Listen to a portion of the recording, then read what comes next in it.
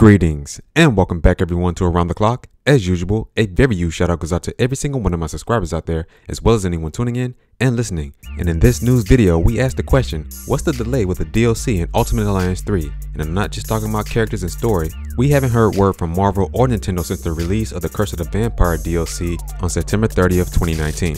Now, only thing that we do know is that the X-Men may be next, followed by the Fantastic Four. We haven't heard any word which character DLC set will be next. All we know is that there will be 9 additional DLC characters as you all can see in your screens here. This is the current character selection screen as of now.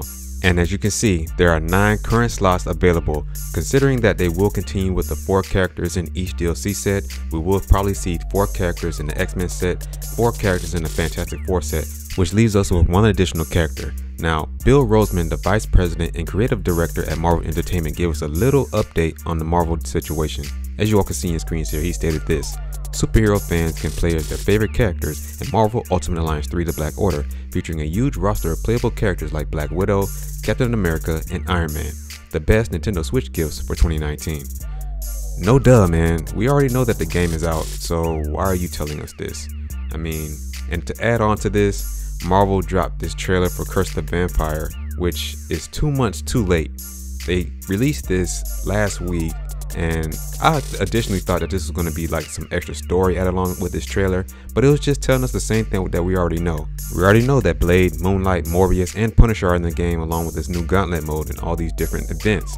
So this drew fans kind of crazy, man, and I can understand why. I really like Ultimate Alliance 3 The Black Order. It's really a fun game, and the Gauntlet mode was cool and everything, but I was really expecting an extra story added on as it was advertised in the original DLC tweets.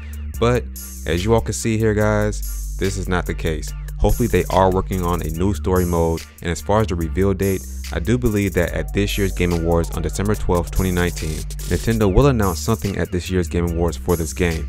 They have to. It has been a whole year since the original announcement of Marvel Ultimate Alliance 3 and everyone was shocked. This being a console exclusive, this game just coming out of the woodworks after so many years of being dormant, I think this will be the case everyone. They'll have all the eyes on them as far as the video game press is concerned and I think this will be a huge announcement. They most likely will announce all 9 characters that you've seen earlier that were blank on the character select screen and if they do announce this on December 12, 2019, they will most likely release this on December 30th because as stated, the second DLC will be at the end of 2019 and then the next one early 2020. Most likely the third DLC pack will come in February or March but of course, we will have to wait and see. Alright everyone, that's going to do it for this video. What are your thoughts on this lack of communication on the DLC for Marvel Ultimate Alliance 3 The Black Order? Please let me know down in the comment section below. If you like this video, make sure to hit that like button and share this video as well. And if you're not already subscribed, be sure to hit that subscribe button as well as the notification bell so that you don't miss out on new and daily Nintendo news content. Right here at Around the Clock, we're here, we focus on Nintendo gaming news around the clock. Catch you guys in the next one.